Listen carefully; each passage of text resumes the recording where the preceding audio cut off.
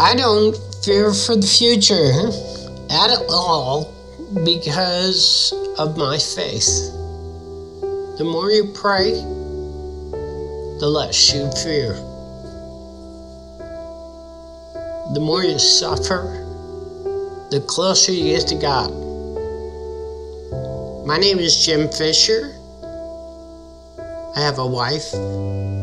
I'm a father of five and a grandfather of two. And I have ataxia. Ataxia is an abnormality in the cerebellum. It's the stem between the two hemispheres of the base of the brain that's abnormal. When I was 17 or 18, I had no idea that it would come to this particular point, this progression. By myself, I'd get ready in 20 minutes. Um, now, with help, it, it takes a good hour at least. I crawl a little bit till the wheelchair's ready, or I use the walker, uh, which is very unstable, um, to get in and out of the house. And anytime I have to go over a bump with the walker, there's a danger of me hitting my head and falling. There's danger basically every time I move without support. And because I have so much support from my wife and kids,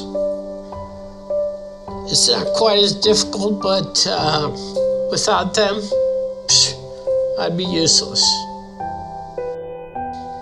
They almost Uh huh. care for me more because I don't complain about all the issues.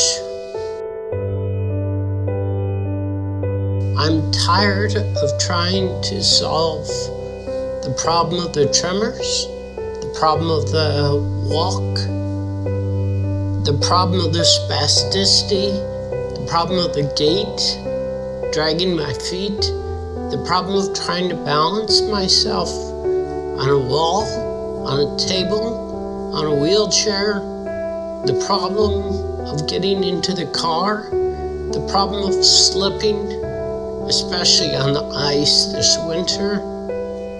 The problems are endless faith is about sacrificing or suffering so you're joyful.